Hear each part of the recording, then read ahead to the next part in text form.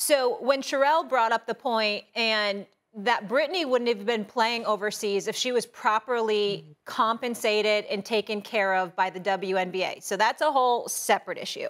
But then you asked an excellent question where would this process be if this was someone like a LeBron James or someone like a Steph Curry? I want to ask you that question. Your opinion on where this would be if it was an NBA superstar rather than WNBA. You know, I really wrestle with this question a lot because what I don't want to do is make any of those guys feel like I'm trying to target them, right? There have been a number of folks talking about I'm trying to create a gender divide. That's not it. What I'm really trying to do is demonstrate that there is a gender divide, that because of how Brittney presents this six nine black woman wearing a Black Lives Matter sweatshirt through customs in Russia, who's had no problem traveling there for more than seven years, now all of a sudden on the other side of this is detained. And the to Stephen A's point, a lot of people were obedient, right, to the idea of not talking about Brittney. Do you think we really could have quieted quieted the press? The NBA, yeah. if it was one of these players, I don't think so. And so I, I really wanted to wrestle with that within myself. Like, how would I be paying attention to this if this were different? If this mm-hmm. were my sister, if this were my friend, how would I want people to be talking about this? And I think that's how we have to really deal with this. Sure, we would like to believe that if you're a superstar and if you're a regular Joe Blow from around the corner, that you'll be treated the same and we would all want your return and your release. But I, I don't believe that's the case. And I think this is a really great point for us to double down, not just on salary disparity, but on treatment of these stars. When you look at Brittney Griner's stats, this is a seven-time NBA All-Star, a W, I'm sorry, WNBA, mm-hmm. WNBA champion, Olympic gold medalist yeah. twice. Like, come on. Like, yes, I think she, a lot she was a superstar since college. Yeah, she. I mean, she yes, was a, really Taylor. a household name when she was in college. I remember what. Yeah, of course. Uh, Ladies, Stephen A. Let me say this. I'm going to say something and then I'll ask the question along those lines, Angela, because I'm not sure I entirely agree with you. I definitely agree with you about, uh, obviously, they need to be paid more. There is no question about that. There is no debate about that. Uh, WNBA players are fantastic. They give the fans what they want to see, what they come to expect to see. They deliver the goods and they're consistently committed. So I got a lot of love. Don't get me started with the Diana Taurasi's, the Sue Birds of the world, and others. I love all of them ladies. I'm actually going to a couple of games this summer. Okay, and let me not forget Candace Parker, but I got to say this. When we say that if an NBA player was in that position, I will remind the world we're talking about Vladimir Putin. And we know we've seen, unfortunately, what this man is capable of.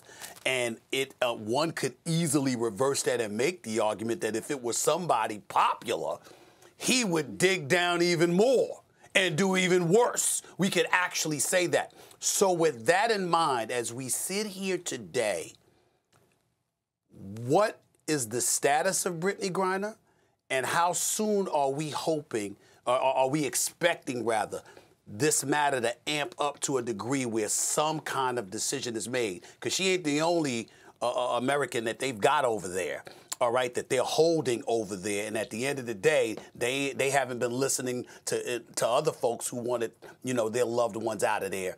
I don't. I'm, I'm just worried right now about the Griner situation. What can you tell us about that? Yeah, and I hear your your fear, Stephen A. I think here's the question that I would pose back to you: If this were LeBron James, Giannis, anybody, even in the finals right now, Steph Curry is one of the person, the people who I mentioned in the question when you think about how much you've talked about Brittney Griner on air, do you think it's sufficient? No.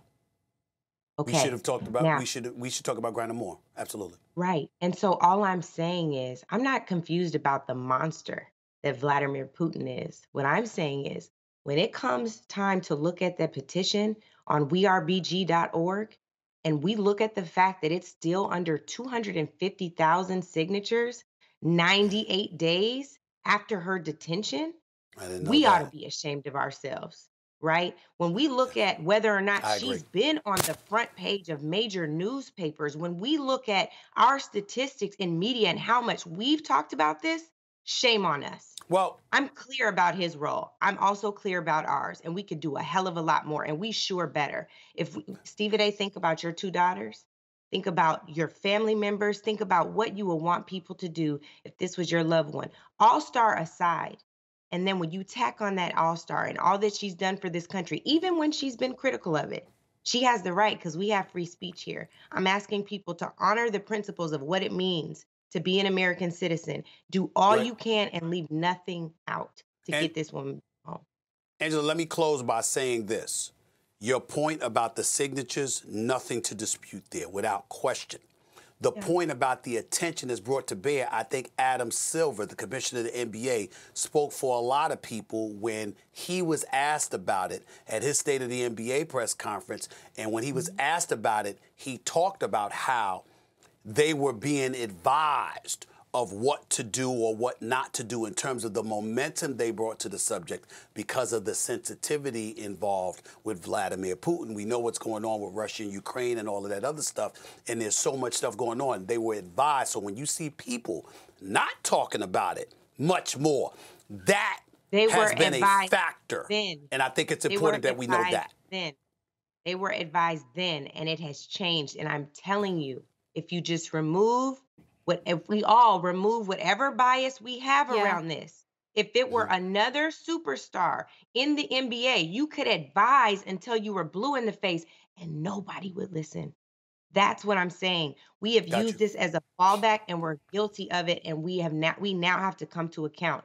We've got work to do as a collective. This entire country, Joe Biden's got a Absolutely. meeting to have. We've got some signatures to add to a petition and we've got to sound the alarm in the media. And I appreciate y'all for doing that today. I'm good with that. I'm good with that. Thanks for watching ESPN on YouTube. For live streaming sports and premium content, subscribe to ESPN Plus.